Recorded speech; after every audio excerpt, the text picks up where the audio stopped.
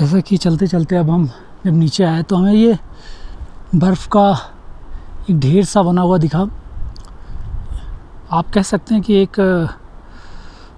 Glacier का टुकड़ा।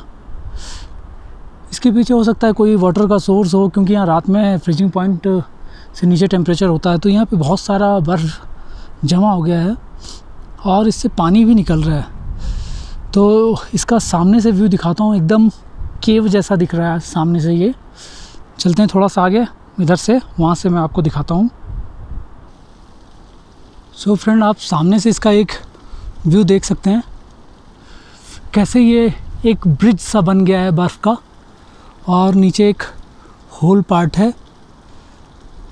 अगर आप कभी इस रीजन में आएँ और इस ट्रैक पे आएँ तो इसके नीचे जाके फ़ोटो या सेल्फ़ी खिंचाने का कोशिश ना करें, क्योंकि बहुत ही ज़्यादा ख़तरनाक है और आप देख सकते हैं कि उसके नीचे बहुत सारी बर्फ़ नीचे गिरती रहती है ऊपर से।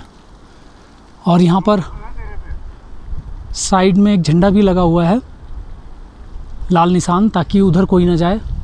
So be careful so friend अब आगे बढ़ते हैं, धीमे धीमे।